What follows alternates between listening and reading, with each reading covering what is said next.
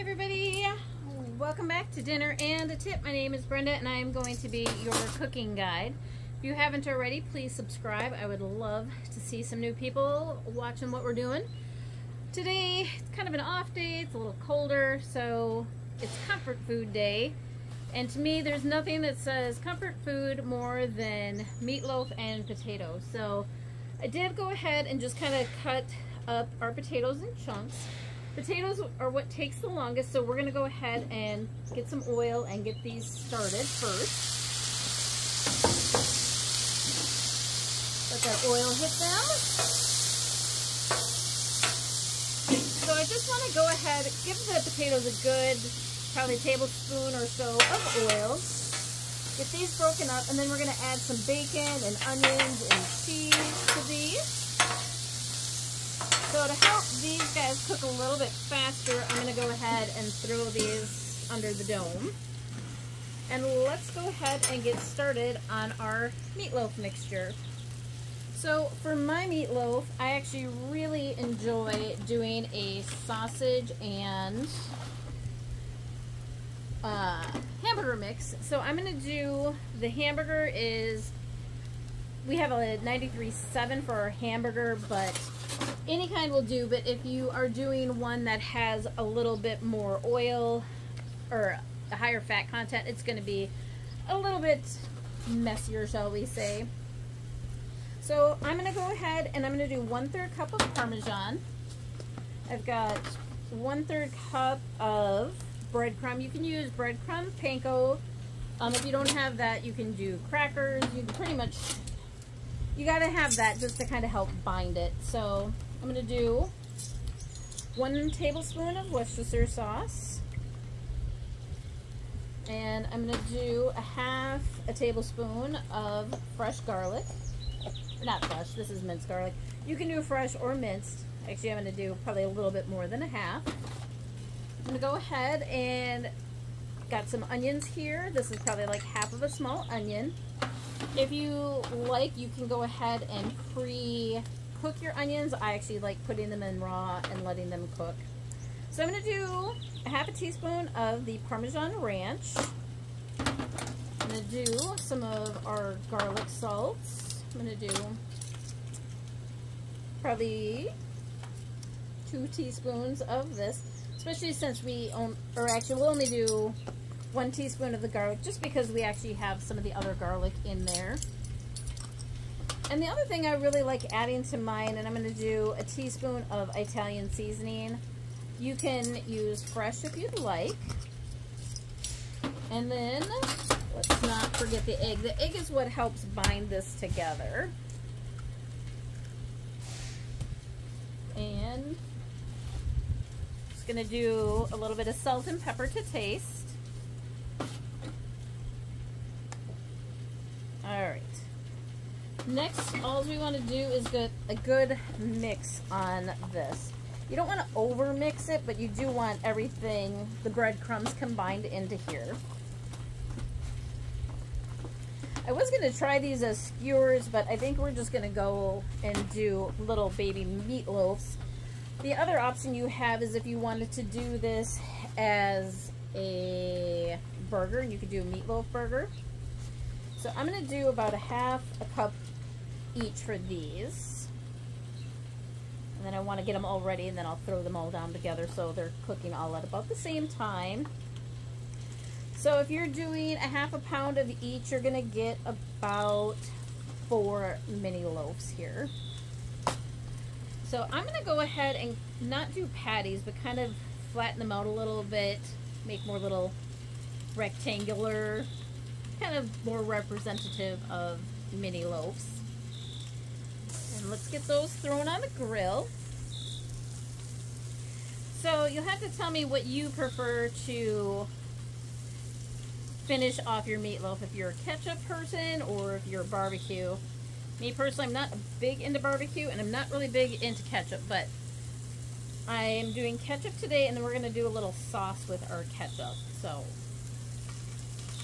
alright. Not perfectly meatloaf shaped, but it's going to be good enough for today. And now that this is done, we're gonna go check on our potatoes. A little extra here. Pound that down. And since we are doing loaded potatoes, you cannot forget bacon. Honestly, bacon on the Blackstone is probably one of my favorite things. I think it just tastes so much better than cooking it inside and you don't have that forever bacon smell in your home. And some of this bacon grease is going to kind of like come down to our burgers, but I am alright with that.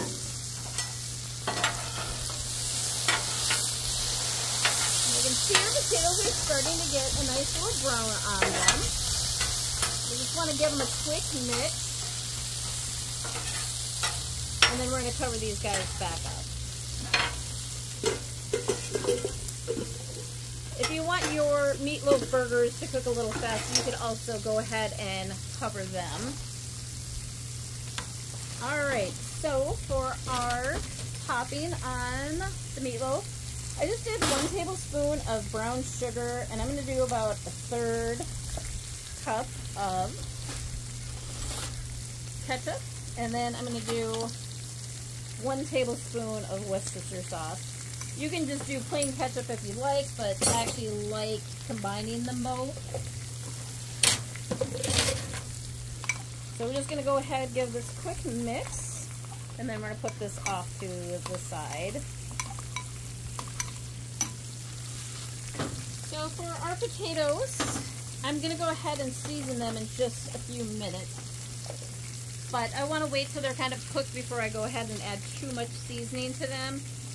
And then I'm going to go ahead and season them and then we're going to add some cheese, some bacon, some green onions. And it's going to be awesome. Like I said, there's nothing better comfort food than just a good old-fashioned meatloaf.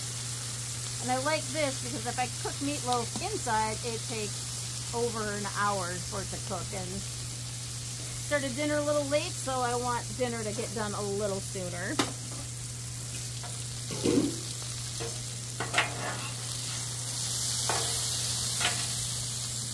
And I can tell, yeah, these guys aren't anywhere near being done, but they've got a little brown on them.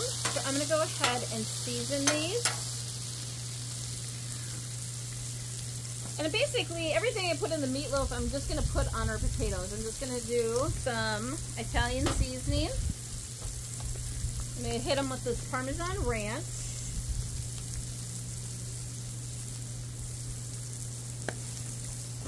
Can't forget the salt and pepper.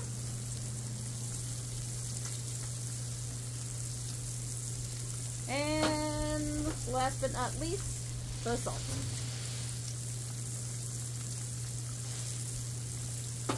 And then I'm just going to hit with just a little bit of extra oil on this. That way I know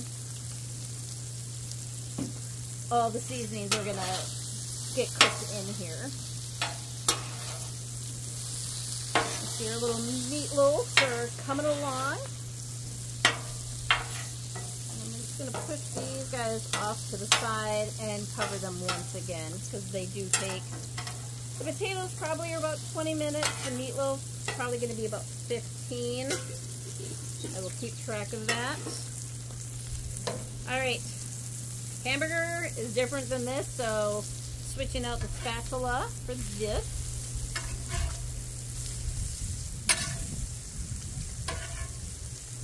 Alright, so this is probably going to take a little bit of extra time, so we are going to go ahead kind of clean up our station. Gonna finish cooking off this bacon and then we'll be back to put this all together. See you soon.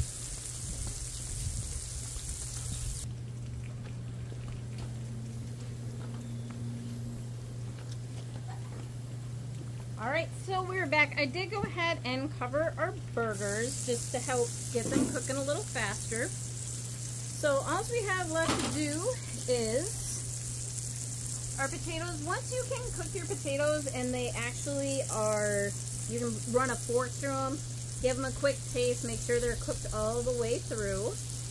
I'm just gonna add a little bit of cheese. Our cooked bacon. A little green onion and chive. Just gonna let that cheese, so I did cheddar and Parmesan for that. Since these are done, I'm gonna go ahead and shut this off. So for our barbecue mixture, not barbecue, ketchup mixture, I'm just gonna go ahead and give a good coat on our hamburger sausage. So go ahead, make sure you're cutting through this. Make sure this is all the way cooked, all the way through. And I like to do a pretty good helping. And I like to go ahead, make sure I'm getting it on the sides. Just gonna give this a minute to go ahead and cook in. Basically, this is the last step. Basically, this stuff is all the way done. Alright. Oh, it smells so good. I love the Italian seasonings with this, the garlic. Alright. I'm just going to give this a second underneath the dome, but let's go ahead, pull some of our cheesy potatoes off. Those are going to be wonderful and hot. Alright, so I'm going to go ahead and grab one of these. I'm going to let the rest of these cook. But I'm super excited to have meatloaf in half the time, and I love being outside anyway, so give the potatoes quick. Mm. I love potatoes on the grill. I don't know if I told you, when you go ahead and cut these potatoes up, go ahead and rinse them in water. Let the cloudy parts come off of it. That way you know you're getting rid of the starch. All right, let's check out this meatloaf.